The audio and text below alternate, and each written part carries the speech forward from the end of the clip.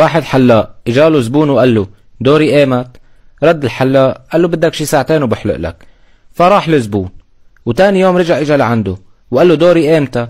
الحلاق قال له كمان أربع ساعات. فمشي الزبون وراح وتالت يوم رجع إجا وقال له قديش بدك لتحلق لي؟ الحلاق قال له كمان ثلاث ساعات. فمشي وهو فرحان. الحلاق استغرب كتير إنه كل يوم عم يجي وما عم يرجع. طلع بالصبي اللي عنده وقال له روح الحق لي إياه وشوف لي إياه وين عم يروح. راح الصبي وراه وبعد شوي رجع الصبي.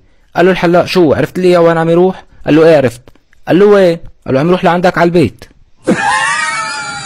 ملحد ومسلم في جدال. كيف تعبدون ما لا ترون أنتم المسلمون؟ أرني إلهكم. نريه لك آه لا يمكننا ولكن نحن نشعر بوجوده. قال يشعر به. أنا كشخص عاقل لا أصدق ما لا تراه عيني قام المسلم بالدعس على رجل الملحد فصرخ وقال هاي ماذا تفعل إنها تؤلمني آه آسف آسف هل شعرت بألم نعم وبألم شديد ولكن لما تفعل هذا أنت تكذب ماذا تقصد بتكذب تدعس على رجلي وتقول ها ها ها تكذب أرني الألم وإن لم تستطع فأنا كشخص عاقل لن أصدق ما لا تراه عيني